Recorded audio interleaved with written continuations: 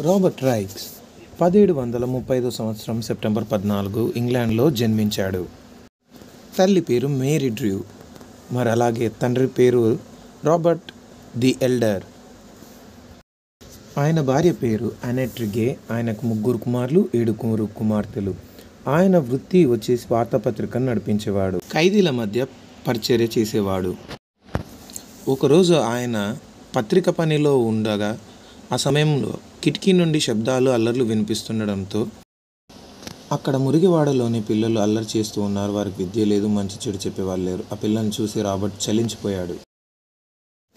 పదిహేడు వందల ఎనభై సంవత్సరంలో రాబర్ట్ మురికివాడలోని పిల్లల కోసం ఆదివార పాఠశాలను శ్రీమతి మేరీ డ్రిక్ ఇంట్లో ప్రారంభించాడు. తన నలభై నాలుగో ఏటన మురికివాడలోని పిల్లల కోసం అనాథ పిల్లల కోసం ఆదివారపు పాఠశాలను ప్రారంభించి బైబిల్నే వారికి పాఠపుస్తకంగా నేర్పించేవాడు.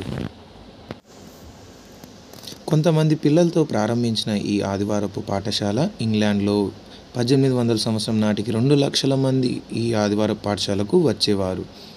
శ్రామిక తరగతి పిల్లలకు ఈ పాఠాలను చదవటం రాయటం నేర్పవద్దని ఆదివార పాఠశాలను పెట్టవద్దని రాబర్ట్కి హెచ్చరికలు వచ్చేవి. అయినప్పటికీ పిల్లల మధ్య తన పరిచర్యను కొనసాగించాడు.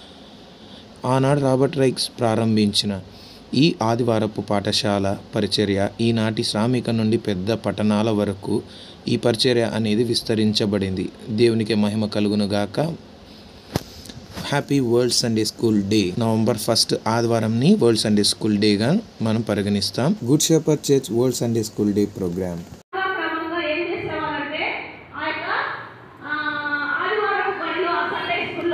దేవుడు